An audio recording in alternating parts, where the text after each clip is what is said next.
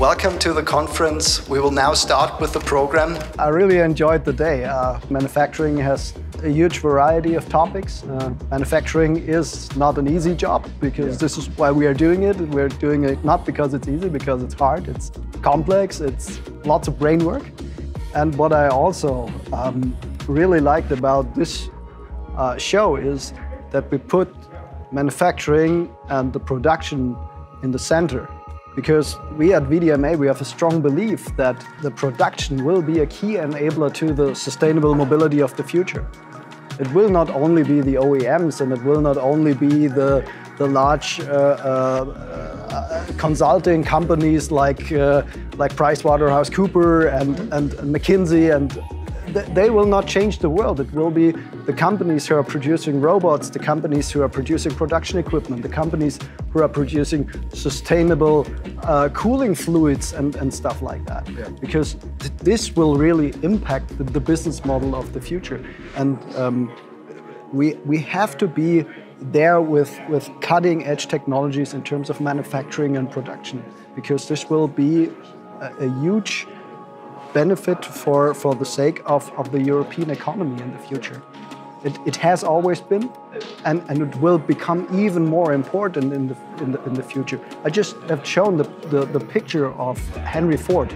That, that was a tremendous impact on, on streamlining workflows. And we have made the same job in the 1980s, 1990s, when uh, computer numerical uh, systems uh, were in the market with CNC uh, and also with uh, CAD-CAM. Um, and right now we are in this place where we are in really in, in full swing of Industry 4.0. We have understand what we need to do. Industry 4.0 is not just a buzzword.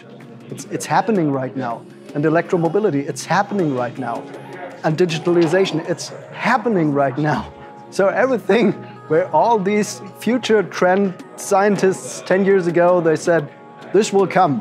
And everybody said, ah, ah, crazy guy, I, I don't trust him. We will run with fuel for the next hundred years. No, no, it's, it's happening right now.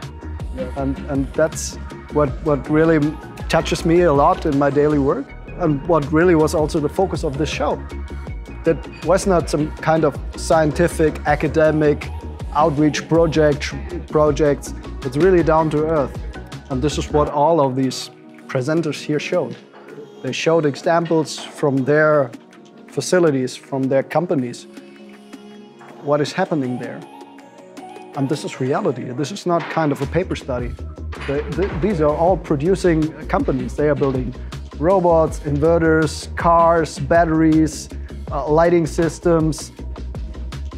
Yeah, yeah, it's it's not McKinsey and it's not PricewaterhouseCooper and it's not Roland Berger and whatever you call it.